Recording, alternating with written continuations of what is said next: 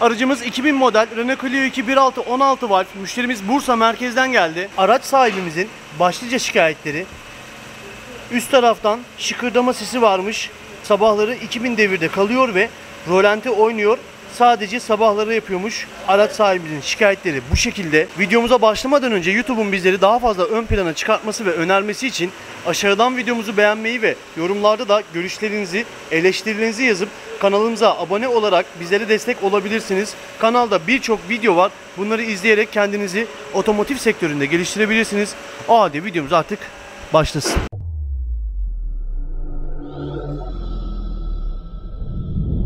Öncelikle aracımızı oluşabilecek hasar ve lekelere karşı koruma altına alıyoruz. Aracımızı bir çalıştıralım, sesini duyalım.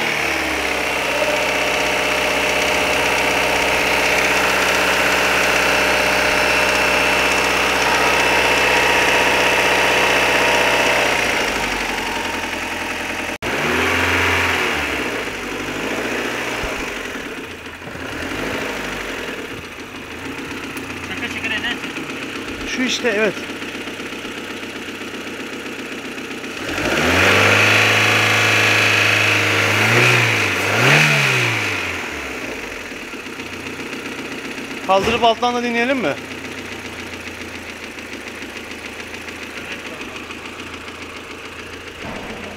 Kaldıracağız bakalım alttan dinleyeceğiz. Alt taraftan ses bu şekilde. Bilal Usta steteskop yardımı ile nokta atışı sesin kaynağını dinlemeye çalışıyor.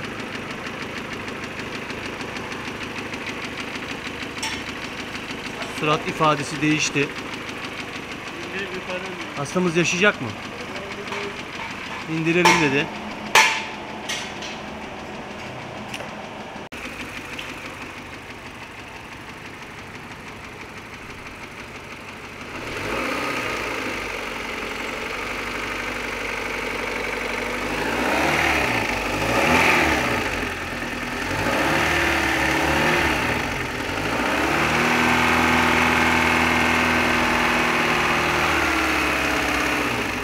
Eksantrik kafesimizi, eksantrik kapağımızı açacağız ve bakalım açtığımızda bizi neler bekleyecek. Gaz telimiz söküldü. Havlutte kazanımızın bağlantısı söküldü. Enjektörlerimizin soketleri çıktı. Hızlı bir şekilde bakacağız neleri varmış. LPG enjektörlerimiz çıktı arkadaşlar. Emme manifoldumuzun somunlarını çıkardık. Birazdan onu da çıkartacağız. MAV sensörümüz de çıktı. Emme manifoldumuzun civataları söküldü arkadaşlar. 4 tane bobin var. Onları sökeceğiz. Daha sonra emme manifoldumuzu yerinden alacağız. Sonuncu bobinimiz sökülüyor.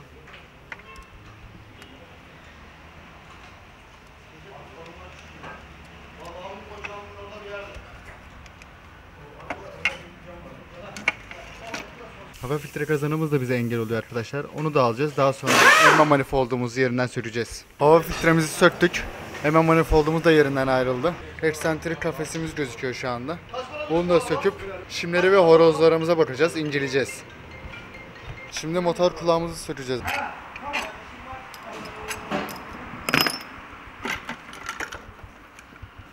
Kulağımızı yerinden aldık. Tirger yağ içinde keçiler büyük ölçüde patlak. Tirger geçelim. Oo kayışta değişecek. Kayışta değişecek. Şu an söküyoruz ama gördüğünüz gibi tirger tarafı yağ içinde. Kayış da yağ içinde. Bu bu şekilde devam etseydi artık bu yağ kayışın özünü bitirecek. Sonra tirger sıyıracak. Sibop yamutacak. Allah'tan bu ses yapmış ki sökülüyor. Keçeler değişecek. Kayış da değişecek. İçinden açtığımızda horozlarda veya iticilerde bir sıkıntı varsa onlar da değişecek. Sökeceğiz göreceğiz. Evet. Motor kulağı gövdemizi çıkardık yerinden. Şuraya tutsana. Triggerimizi gördük. Görüyoruz. Buraya yaklaşsana. Komple yağ. Tirger yağ içinde geziyor. Çok yağlanmış. Bak bu kaçak da hep keçelerden gelmiş. Keçelerin adı da hep yağ. Trigger çarklarımızı yerinden aldık. Hepsi yağ içinde. Bunları temizleyeceğiz. Tertemiz yapıp trigger'i de değiştireceğiz. Daha sonra montajını yapacağız.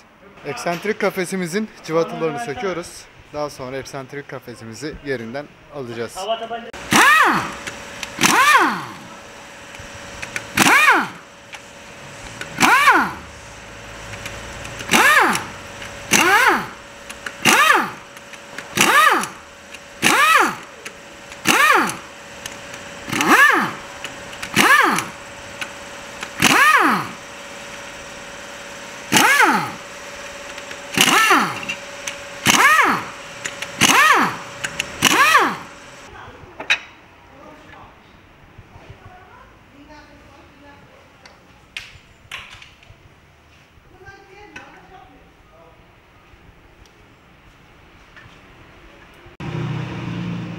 Eksentrik keçelerimiz sertleşmiş. Kauçuğumuz bayağı sert. Değişecek. Eksentrik milimiz çıkıyor. 2 adet eksentrik milimiz var.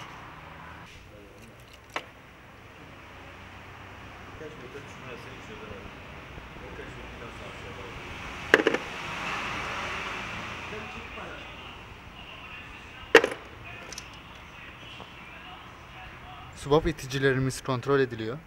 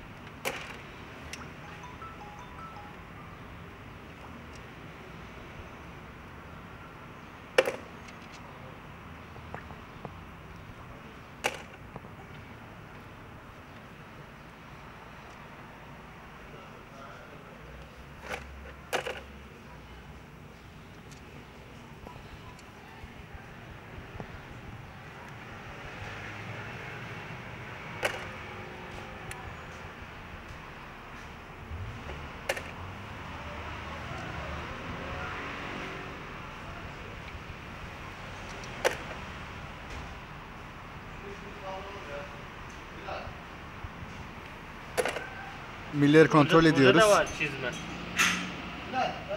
Yağsız mı kullanılmış? Millerde çizik var. İticiler ve şimler kontrol edildi. Herhangi bir problem yok. Ercan Usta müşteriyle konuştu. En son durumu Ercan Usta'dan öğreneceğiz. maddi durum olarak biraz sıkıntılı diyeyim dedi. Yani şu an için biz yine iticileri değiştirelim dedi. İticileri değiştireceğiz. Diğer, diğer yağ içinde. Gran keçisi değişecek. Üst keçiler değişecek. Bak hep yağ içinde. Bunlar değişecek. Sonra ben biraz daha kendimi toparlayayım. Eğer hala ses devam ederse komple rektife yapacağız. Motor yapacağız. Yani ben kendine söyledim rektife istiyor diye. Yani maddi durum olarak biraz sıkıntılı olduğu için bu şekilde iticileri değiştireceğiz, tilgeri değiştireceğiz. Biraz bütçeyi toparlasın o zaman geleceğim dedi. Ustam eksentrik millerinde bir problem var demiştin. Onu da Ya, gösterelim. biraz biraz e, çizik var ama yeni değişmiş zaten. Ama biraz yağsız mı kullanılmış artık gördün mü? Birazcık bir sürtünme olmuş kanal. Bunların Evet. ölçülmesi lazım ama Şu ilerleyen boşluklarda. zamanda evet onları gösterdim. Müşteriye de gösterdim. Böylece takalım dedi. Bakalım. Takalım. Bütçesi ne zaman iyi olursa o zaman komple sökeriz. Tamamdır ustam. İşlemlerimize trigger'i değiştirerek başlayacağız. Aracımızı kaldırıyoruz. Tekerleğimizi söküyoruz.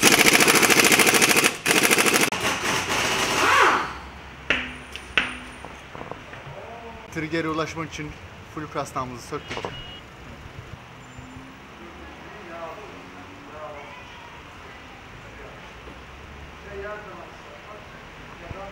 Krank içimizden yağ kaçakları mevcut.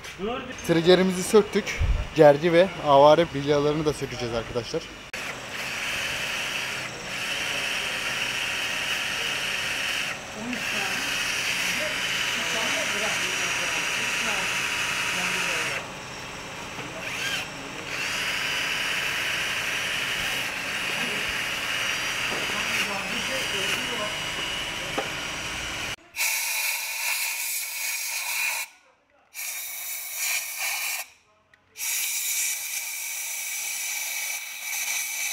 Kafesimizi temizliyoruz.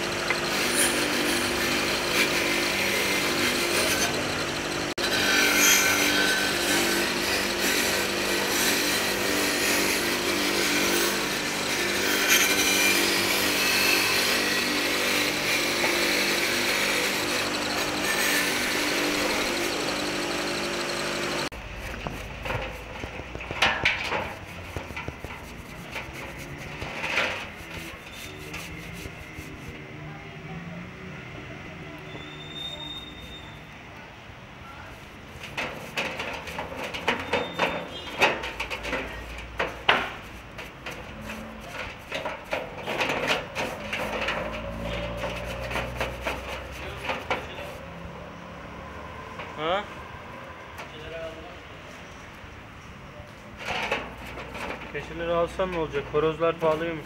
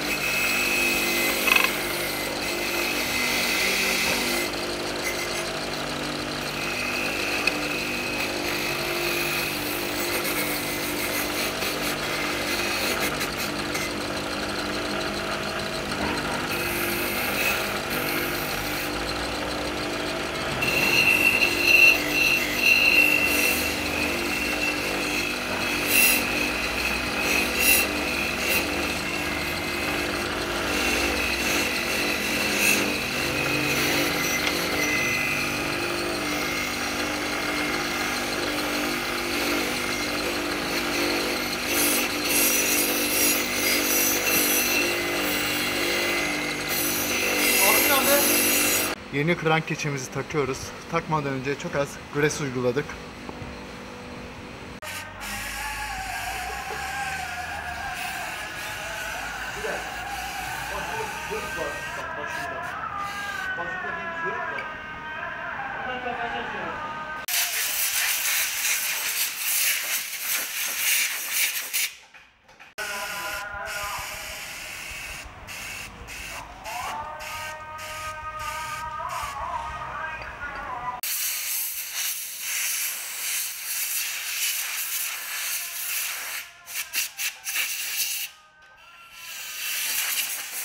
Motor kulak gövde temizliği yapılıyor.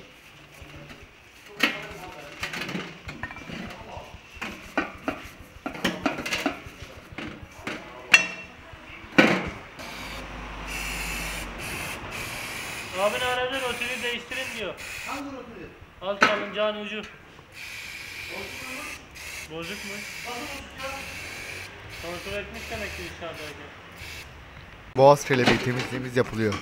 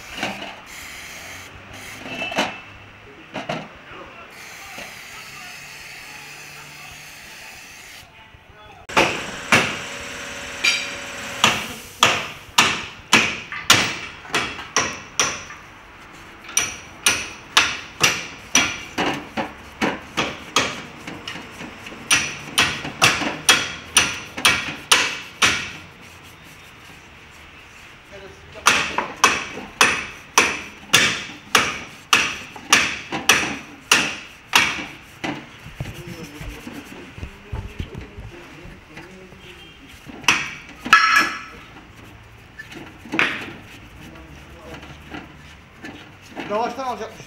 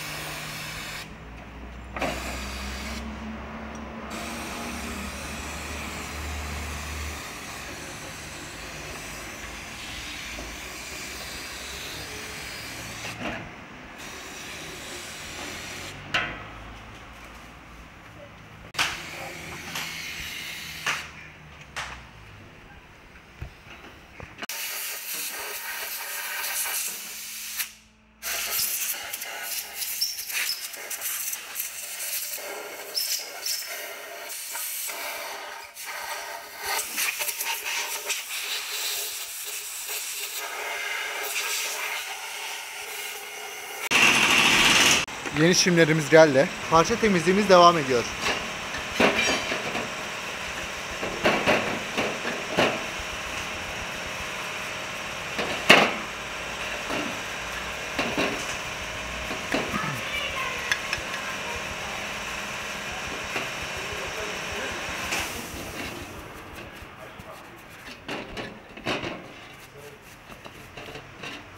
Hep yağlı,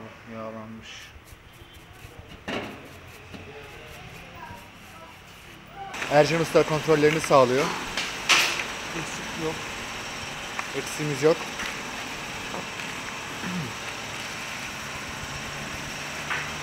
Yeni iticilerimiz yerlerine konulmadan önce yağlanıyor.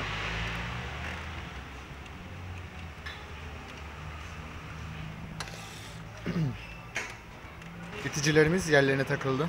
Şimdi tuşlarımızı takıyoruz. Yine bunları da yağlıyoruz arkadaşlar. Şuradaki yuva kısmı iticimizin üstüne gelecek şekilde takıyoruz.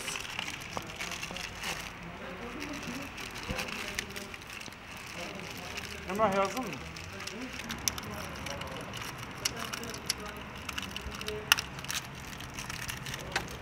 Tuşlarımız takıldı.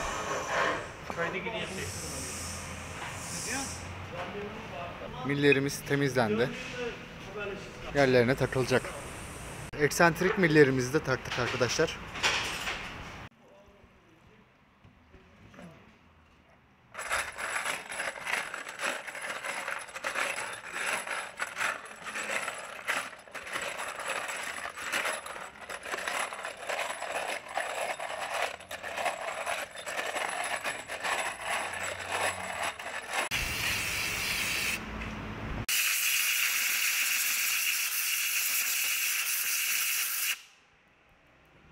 Eksantrik millerimizi yağlıyoruz.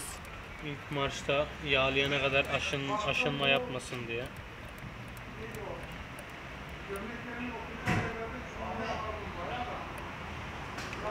Birazdan kafesimizi takacağız. Takmadan önce sıvı conta uyguluyoruz. Bir sızıntı olmasın diye.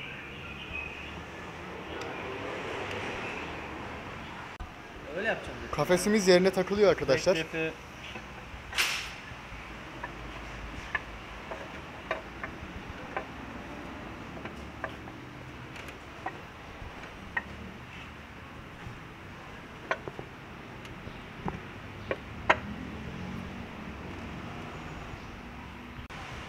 Civatalarımız takılıyor.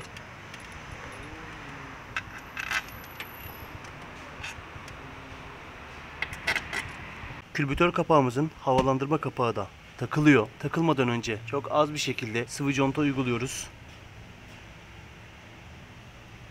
Fazla taşırmadan silme.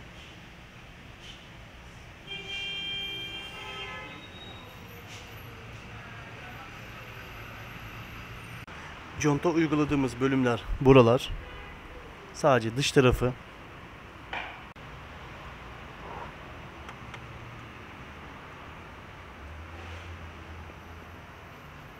çok narin ve hassas bir şekilde yerine oturttuk. Şimdi sabitleme civataları takılacak.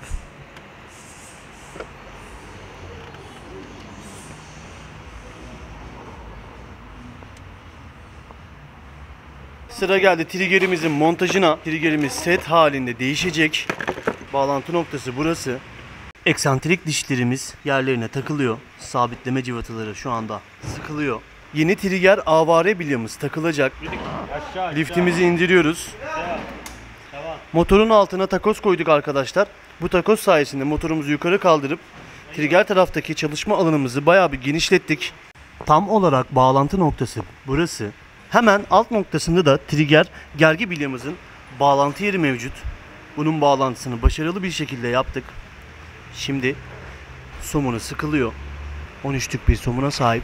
Yeni trigger kayışımızın montajı sağlanıyor. Birazdan nasıl takılması gerektiğini sizlere göstereceğim. Eksentriğimiz dönmemesi için dişlerimizi bu şekilde bir aparat yardımı ile kilitliyoruz.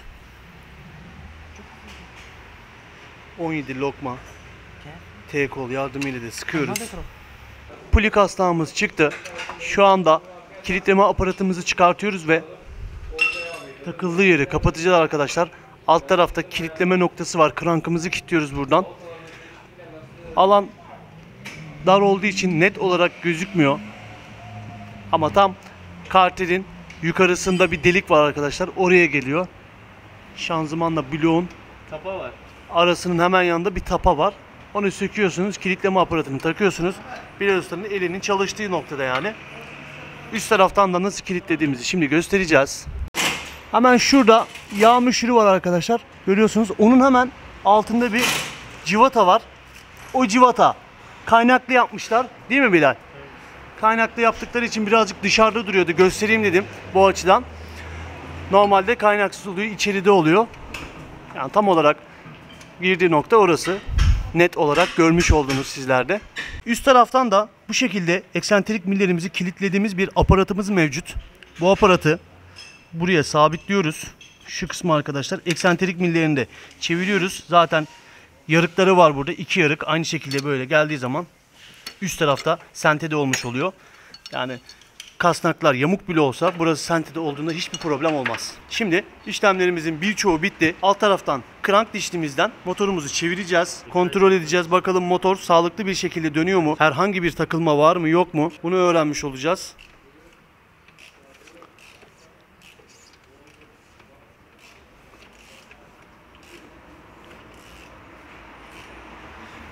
Evet şu anda hiçbir problem yok çok şükür. Sıra geldi eksentrik tapalarımıza. Bu tapayı çakarken de etrafına sürmüyorsunuz bir şey arkadaşlar. Çaktıktan sonra sadece üst tarafının bu yarık giriş bölgelerine yani sıvı conta sürüyorsunuz. Daha sonra herhangi bir kaçak olmuyor. Tekrar tapamızı yerine çaktık. Çok az bir şekilde sıvı contada da uyguladık. Trigger tarafı kapanış işlemleri gerçekleştiriliyor. Motor kulağımız, motor kulak bağlantımız takıldı. Hava filtre kazanımız, emme manifoldumuz yerine takılacak. Düzenlenmesi yapılıyor. Emme manifoldumuzun contaları değişecek. Yeni contalarımız takım olarak alındı. Sıra geldi boğaz kelebeğimizin montajına. Boğaz kelebeğimizin bağlantısı tam olarak burada.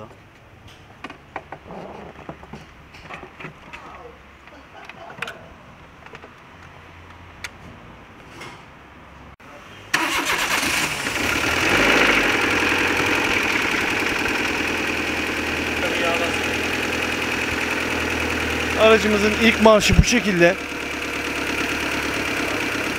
Yağlamayı tam bir yapsın. Bakalım ses kesilecek mi?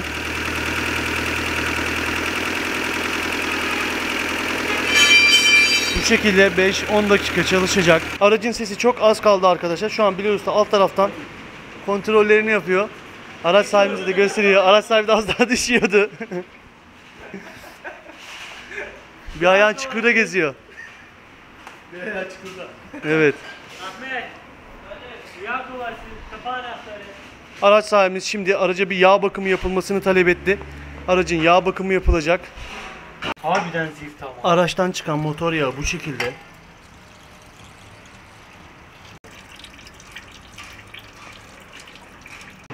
Yağ filtremiz sökülüyor. Tam olarak şu gördüğünüz yağ filtresi. Yeni yağ filtremiz bu şekilde. Yağ filtresini takarken de üzerinde bulunan contaya çok az bir şekilde yağ sürün. Sıkarken kaymasın. Conta atabilir. Aracın motor yağı dolduruluyor 10-60 olarak. Aracımızı şimdi tekrar bir çalıştırıyoruz.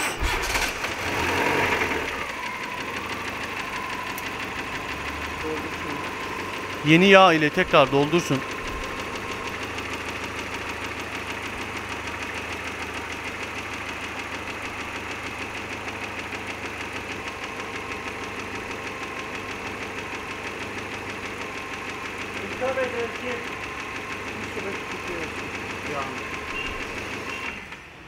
Yağımızın seviyesini ölçeceğiz. Canınız Ahmet Altan. Biraz daha istiyor. Bakayım bir ya. Yağ çubuğumuz burada. sonra bidona. Tamam oğlum kapat yeter.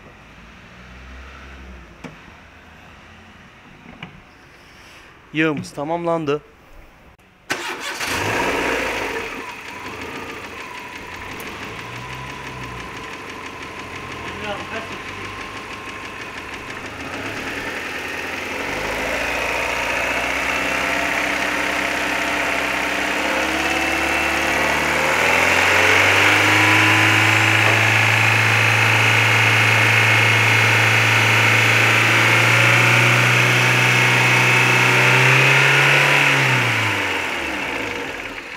Diyorsun? Yorumlar nelerdir? Yorumlar yani bu kadar kesiyor. Daha fazla kesmesi için rektefe açılması lazım. Şöyle Kapak açılacak. Ondan sonra her şey belli olacak. Durumu da olmadığı için yani buraya kadar yaptırabiliyor. Gönül isterdi ki rektefe yapılsın ama durum yani maddi durum. Evet maalesef ki şu an gelinen Yorumlarda da noktada Diyorlar keşke yani oraya kadar sökülmüş motor yapsaydınız diyen arkadaş bir bana atsın arkadaş atsın hesabı yapmaz. hayırlısı olsun. Burada yazıyor tamam mı? Niye? Keşke komple motor yapsaydınız. Araç sahibimize hayırlı uğurlu olsun. Güzel günlerde kullansın inşallah. Evet videoyu beğendiyseniz like atmayı unutmayın arkadaşlar. Hala da kanalımıza abone değilseniz aşağıdan abone olup bizlere destek olabilirsiniz. Kendinize de bir şeyler katabilirsiniz. Kanalda birçok video var. Bunları izleyip kendinizi otomotiv sektöründe geliştirebilirsiniz. Bir sonraki videolarımızda görüşmek dileğiyle. Kendinize iyi bakın.